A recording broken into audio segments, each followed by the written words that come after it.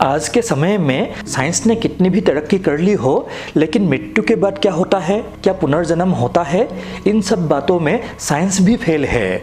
पर प्राचीन काल से ही दुनिया के अलग अलग धर्म के लोग, जैसे कि हिंदू धर्म भी पुनर्जन्म को मानते आ रहे हैं। साथ ही ऐसा भी माना जाता है कि हर इंसान के कर्मों का लेखा जोखा भी जन्म जन्मांतर के हिसाब से होता है। ऐसा माना जाता है कि एक इंसान पहले भी कई जिंदगियाँ जी चुका होता है। यानी एक ज़िंदगी जीने के बाद उसका मृत्यु होता है और वो दूसरा जन्म लेता है। और पिछले जन्म का हमारे आज के जीवन पर काफ़ी असर पड़ता है। इसको समझने के लिए चलिए खुद से कुछ सवाल पूछते हैं। क्या आपको पहली बार किसी जगह पर जाकर ऐसा लगा है कि आप पहले भी वहाँ गए हैं? क्या कभी आपको किसी इंसान से पहली बार मिलकर ऐसा महसूस हुआ है कि आप पहले भी उससे मिल चुके हैं? क्यों बिना किसी रिश्ते के भी हम कभी किसी को अपना महसूस करते हैं? या फिर कोई क्यों बिना रिश्ते के भी हमारी फ़िक्र कर रहा है? क्यों कोई हमारी तरफ़ या हम उसकी तरफ़ खींचे चले जा रहे हैं? तो अगर किसी इंसान से कोई जुड़ाव महसूस होता है, या फिर किसी इंसान से हमेशा झगड़ा होता रहता है और उसके साथ तनाव बना रहता है तो उसकी वजह पिछले जन्म से भी जुड़ा हो सकता है। या फिर आपको बार बार एक ही सपना दिखता है, या फिर जागते हुए भी कुछ काल्पनिक चीज़ें दिखाई या सुनाई देता है, या फिर आपको किसी खास चीज़ से डर लगता है तो वो भी पिछले जन्म से जुड़ा हो सकता है। अंधेरा या फिर ऊंचाई से डर लगना बहुत ही सामान्य है। लेकिन अगर आपको फूल की पंखड़ियों से डर लगता है, या फिर हवाई जहाज़ में बैठने से, या फिर गाड़ी चलाने से डर लगता है तो ये डर आपके पिछले जन्म से जुड़ा हो सकता है।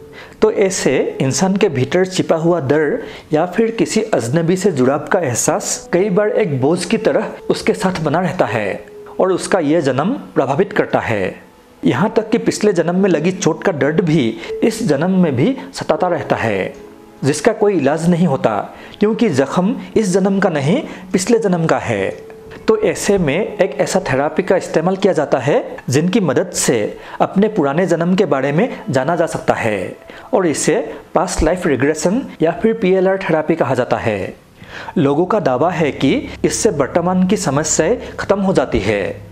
पास्ट लाइफ रिग्रेशन थेरेपी के ज़रिए न केवल मानसिक और भावनात्मक, बल्कि शारीरिक दिक्कतों को भी दूर किया जा सकता है। ये पश्चिमी देशों में काफ़ी प्रचलित है, लेकिन अब भारत में भी इसका इस्तेमाल बढ़ रहा है। पास्ट लाइफ रिग्रेशन थेरेपी करने वालों में से अमेरिकी फिजियोथेरापिस्ट और हिप्नोथेरापिस्ट डॉक्टर ब्रेन बिस का नाम काफ़ी मशहूर है। पास्ट लाइफ रिग्रेशन थेरेपी दो थ्योरी पर आधारित है री और लॉ ऑफ़ कर्मा री का मतलब होता है पुनर्जन्म। कहा जाता है कि इंसान जब तक अपनी आत्मा का पूर्ण विकास नहीं कर लेता, तब तक वो जन्म लेता रहता है। वो अपनी हर ज़िंदगी में नए अनुभव हासिल करता है। वहीं लॉ ऑफ़ कर्मा का मतलब ये है कि इंसान जो बोता है, वही काटता है। अगर किसी के साथ एक जन्म में बुरा किया है तो अगले जन्म में उसके साथ अच्छा करके उस ऋण को चुकाना होगा।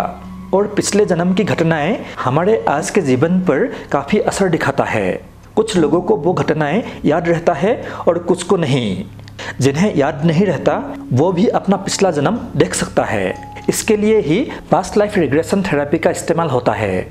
पास्ट लाइफ रिग्रेशन थेरेपी के दौरान उस व्यक्ति को सम्मोहित किया जाता है, जिससे पिछले जन्म या बीते समय में जाया जा सकता है।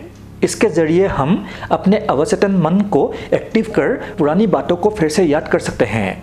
अवचेतन मन में सारी यादें मौजूद रहती है। अवचेतन मन की एक खूबी यह है कि इसमें वक्त का कुछ भी असर नहीं होता। उसके लिए 50 साल या फिर 500 साल पहले हुई घटना अब भी मौजूद होती है। पास्ट लाइफ रिग्रेशन थेरेपी के दौरान प्रश्नों की एक श्रृंखला को लगातार पूछा जाता है और उस व्यक्ति का अवचेतन मन अपने पिछले जन्म की बात बताता जाता है। तब वो व्यक्ति विश्वास नहीं करेगा कि वो उसका पिछला जन्म है। और ये उसका दूसरा शरीर है। उसको लगेगा कि वो उसी समय में ही ज़िंदा है। तो ऐसे में थेरापी करने वाले डॉक्टर्स उस व्यक्ति के अवचेतन मन को विश्वास दिलाता है कि अब वो चीज़ें खत्म हो गई है और ये एक अलग शरीर है और अलग जीवन है। तो जो पुरानी भावनाएँ आपने स्टोर की हुई है, उन्हें भूल जाना चाहिए। और जब थेरेपी के बाद वो व्यक्ति जागता है, तब से उसे पिछले जन्म की बातें इस जन्म में और परेशान नहीं करता। अगर किसी को कोई खास डर या फोबिया है तो ऐसे में थेरेपी के ज़रिए थेरेपिस्ट आपको वक्त में पीछे लेकर जाता है। ये जानने के लिए कि फोबिया आप में कहाँ से शुरू हुआ था, जिसके बाद एक हिप्नोथेरेपिस्ट उस पर काम करना शुरू करता है और इस तरह से फोबिया से जूझ रहे शख्स की मदद करता है।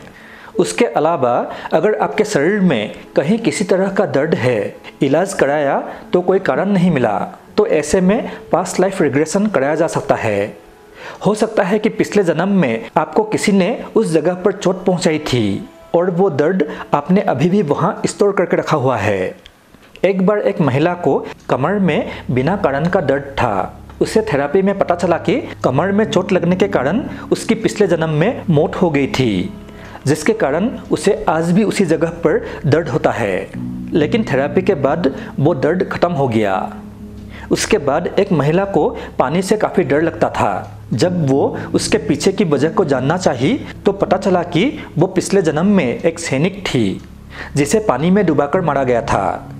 इसके अलावा एक शख्स जिसके हाथ पर कई निशान थे और उसमें दर्द होता था। तो पता चला कि पिछले जन्म में उसके हाथ पर चाकू से बार किया गया था। उसके बाद इस थेरेपी से यह भी पता चल जाता है कि हमारा किसी के साथ कौन सा कर्मा जुड़ा हुआ है। कोई क्यों अचानक हमें परेशान कर रहा है? कोई क्यों बिना किसी रिश्ते के भी हमारी फ़िक्र कर रहा है? क्यों कोई हमारी तरफ़ या हम उसकी तरफ़ खींचे जा रहे हैं?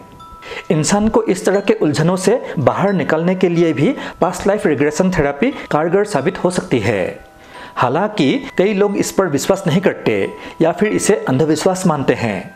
वहीं कुछ लोगों का कहना है कि यदि ये अंधविश्वास है तो ध्यान और प्राणायाम को भी अंधविश्वास माना जाना चाहिए। आपको क्या लगता है?